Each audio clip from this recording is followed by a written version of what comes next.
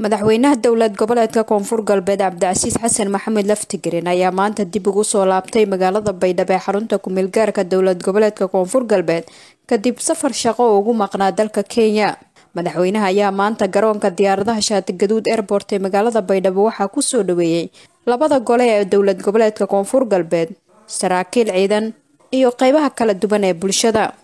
madaxweynaha iyo bulshadii soo dhaweysay oo socdaal ku soo maray waddada dheer ee eelboorka ilaa madaxtooyada ayaa goob fagaara u dhow xarunta madaxtooyada dowlad goboleedka koonfur galbeed. Madaxweynaha kula hadlay bulshada qeybaheeda kala duwan iyo madaxdii soo dhaweysay asigoona ka hadlay safarkii ugu maqnaa dalka kenya iyo sidoo kale soo dhaweynta ay u sameeyeen bulshada. Waxa uu kaloo madaxweynaha si weyn uga hadlay in koonfur galbeed ay mar walba diyaar u tahay dagaalka wejiga labaad ee al-shabaab.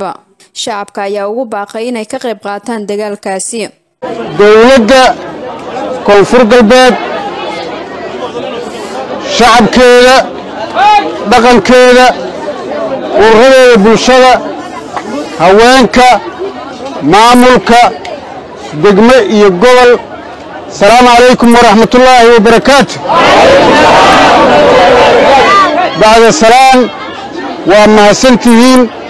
waa mahadsantihiin ilaahay bay mahad u sugnaatay. Nabad nagu soo celiyey. Dib noogu soo celiyey deegaankaannagii annaga oo muddo laba isbuuc ku dhow safar shaqo ugu maqnayn dowladaha deriska ah kuna maqnayn maslaxadda dadka iyo dalka iyo shacabka reer koonfur galbeed guul iyo gacmo buuxana la soo noqonnay.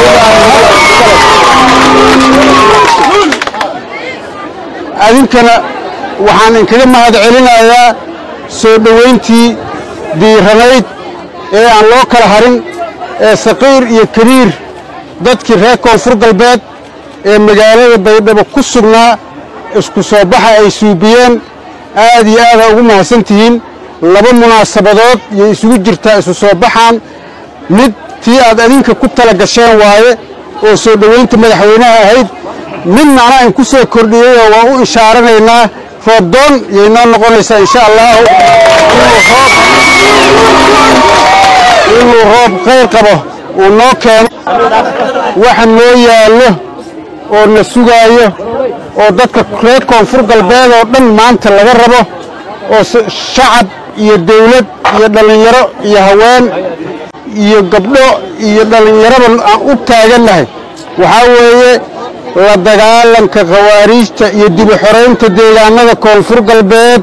saqiir iyo kabiir taasaan u taagannahay tan aan ka soo shaqaynay oo garabka nagula siin doono oo dadkii aan soo aragnay oo dhanna ay diyaarka noogu yihiinna taas weeye annagana tii baan u guntanaynaa insha allaahu si guud ahaaneed iyo si gaar ahaaneedba waa isula warsanaynaa. Aad iyo aadaa u mahadsantihiin horumar iyo barwaaqo iyo xornimo iyo dalkoo nabada yaan ilaahay ka rajaynaynaa intaasaana ka wada shaqaynaynaa. Nabaddaasaa naasla nuuga leh aad iyo aadaa u mahadsantihiin. Shukri ismaaciil axmed telefishinka caalamiga universal baydhaba